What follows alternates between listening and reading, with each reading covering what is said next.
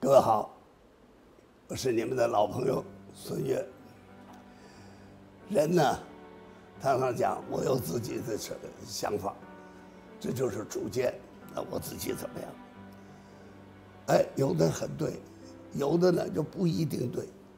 但是大家在一起的，呃，经过开会，哦，经过这个大家在一起共同聊天，就找出一个对的方向，哦，往这边走。但是有一些人，极少数的人，从小就心存偏见，总觉得哦，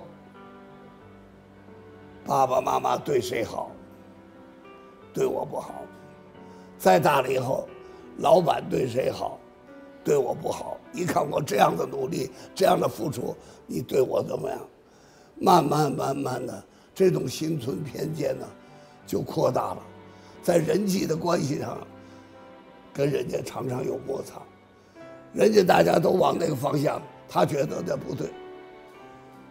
你们这干嘛这样子啊？我不要，慢慢的、慢慢的，朋友越来越少，心存偏见，快乐吗？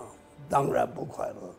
心存偏见是养成一种习惯，最后呢，他总从某一个角度。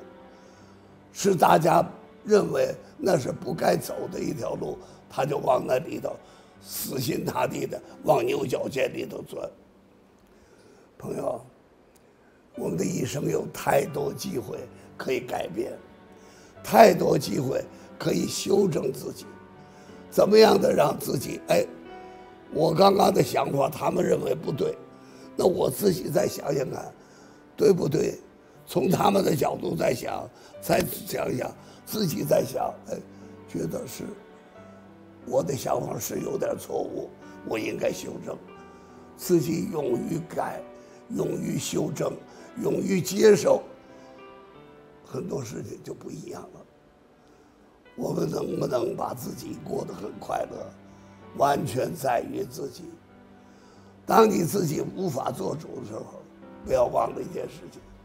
我们借着圣经，借着上帝的爱，让我们重新再看事情的时候，真理出现了，自己晓得了，我们自己应该怎么样的去接纳人家，怎么样的去包容人家，怎么样去接受一些事情，生活我们自己受的委屈，别人不知道，上帝会怜悯我们，他也会知道，所以朋友。